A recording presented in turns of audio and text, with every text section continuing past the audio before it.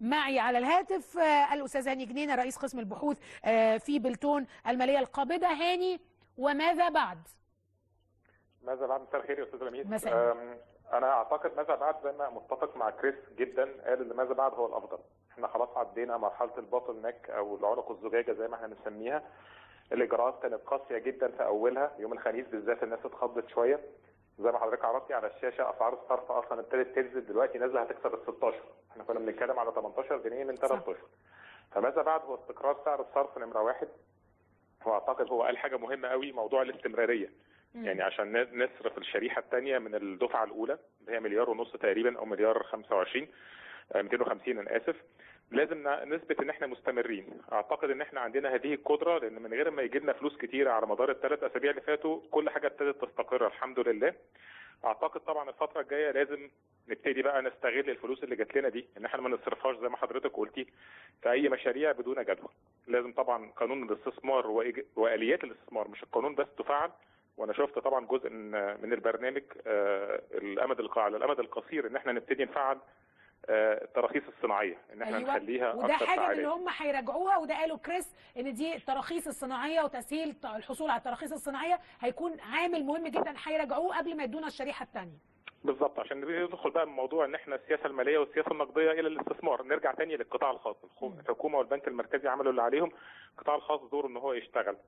آه، فأعتقد دي هنبقى الفترة السنة اللي إحنا بنشتغل فيها. بس طبعا لازم نقول حاجة أنا أنا نفسي أقولها للسادة المشاهدين. بصراحة أنا شايفها بعناية في المجال اللي أنا بشتغل فيه مجال الاستثمار في سوق المال.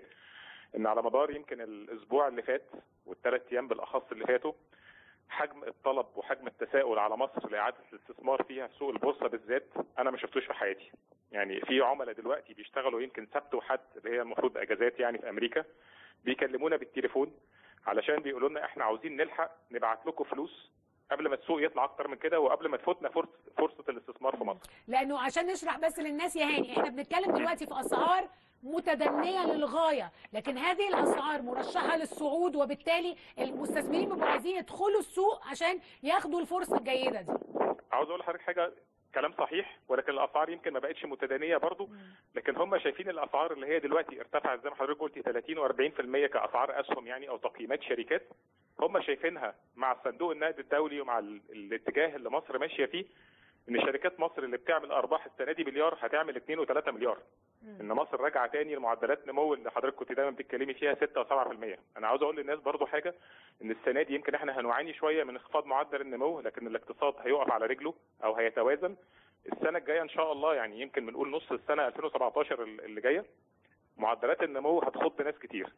يعني هنخض إن شاء الله إيجابية. أتمنى أتمنى أنا. بتكلم على 7 و8 و9% وشفتها قبل كده في أكثر من دولة أنا تابعتها آه، خلال تاريخ يعني عملي. آه، وعايزين كمان ننظر لمعدل التشغيل. أنا مهم جدا بالنسبة لي مش بس معدل النمو ولكن عايزين يكون عندنا معدل تشغيل زي الموجود في أمريكا. الاقتصاد بيوفر كام فرصة عمل سواء من القطاع الخاص أو من القطاعات الأخرى. طبعا طبعا. أعتقد ده هيجي طبعا بالتوالي كمان مع الاستثمار الأجنبي واللي هي واللي هيليه طبعا للقطاع الخاص إن شاء الله. أعتقد على الربع الثاني من 2017 القطاع الخاص المصري هيكون خلاص خلص كل المعاناة اللي بيعانيها نتيجة يعني تدهور سعر الصرف وهيبتدي يرجع تاني للاقتراض عشان يعمل توسعات. لكن أعتقد القطاع الخاص ال- ال- الأجنبي هو جاهز من دلوقتي. زي ما بقول لحضرتك أنا شايفها في اسعار الأسهم وفي تدفقات الأسهم. لكن أعتقد الاستثمار المباشر الأجنبي هو جاهز حالا لدخول مصر لأن أسعار الاستثمار في مصر بقت بالنسبة له أرخص بحوالي 50% أو 60% نعم. بشكرك هاني جنين رئيس قسم البحوث في بلتون فاينانشال